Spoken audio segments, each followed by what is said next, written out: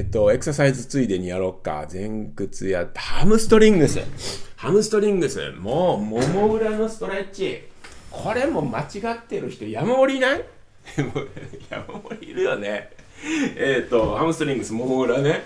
ここが硬いからって伸ばす人、そもそも伸ばす必要あるんかっていう話ですけどね。やりたいんであればいいんですけど、間違って、こうやって、えっ、と、足首まっすぐして、かつつま先をこうやって掴む人。これなんなん？これな、な、何をめ目指してんの？体壊したいの？っていう感じですよね。どっからどう突っ込んでいいものやら、やってる人いないですか？足首まっすぐ、つま先曲げて、そして上半身からこうやって首下にしてつか掴む人。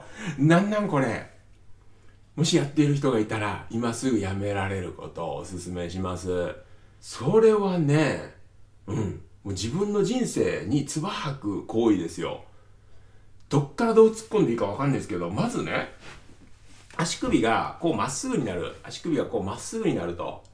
まっすぐになる。かかとが自分の方向近づいて、つま先が向こうに行くっていうことは、これ結局、ふくらはぎの筋肉ですね。アキレス腱だとか、ふくらはぎの筋肉を固めている行為なんですよ。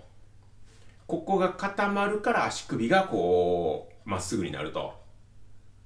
っていうことはですよ、これもう縮めた状態作ってるんです、自分で。え、あなたの伸ばしたいんですか？縮めたいんですか？っていう感じじゃないですか。まずここ一つ突っ込みポイント。で、ここでさらにつま先上げさせるっていうことは、つま先の筋肉前側なんですね。ここも縮んでいるんですよ。え、ああなた縮めたいの伸ばしたいのでしょ？で、さらに上半身見ていくと、これ何起きてます？上半身だけ僕やりましたと。これですよ、コピーしました。だったらこれじゃないですか。だったらこれじゃないですか。めっちゃ猫背作ってますよね。そして、首猫背も作ってますよね。っていうことは、今のエクササイズ、ストレッチをすればするだけ、足はふと短くなっていくだろうし、全然あのストレッチ効果ないですよ。プラス、猫背、肩猫背、首猫背を作っているっていうこと。めっちゃ老化を進めて、かつかっこ悪い体に自分で作っているっていうことでしょ ?YouTube をご覧いただきありがとうございます。もっと心と体を軽くしたい方は、庄司の健康オンラインサロンへ。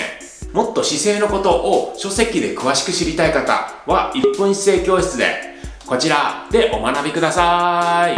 僕庄司がお待ちしております。じゃあね